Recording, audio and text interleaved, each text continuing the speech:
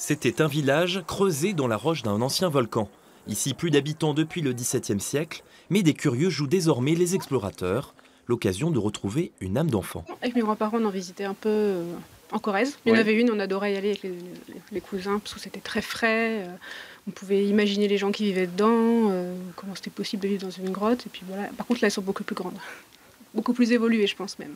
Au Moyen Âge, 600 personnes vivaient ici. On trouvait même une boulangerie. On y fabriquait soi-même son pain. Et pour se représenter la vie ici, il faut une bonne dose d'imagination. Et alors, c'est la première fois que tu venais dans une grotte? Oui, Et alors, ça fait quoi d'être ici?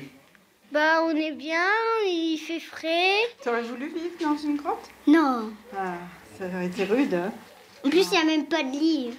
Et au bout d'un dédale de 500 marches sur 5 étages, on arrive en haut de l'ancien château qui offre un panorama sur la vallée de la Cousse-Pavin.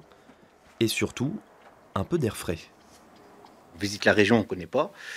Et puis ben, on est tombé dessus par hasard, donc euh, on s'arrête, on, on visite. J'ai eu vent des troglodytes, donc je suis venue. Et puis, euh, c'est intéressant, toujours un peu émouvant de voir des gens, euh, qui, enfin, de savoir qu'il y a des gens qui ont vécu ici. Voilà.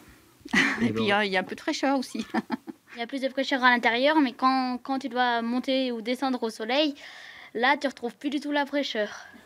En été, les grottes de Jonas attirent chaque jour jusqu'à 500 visiteurs.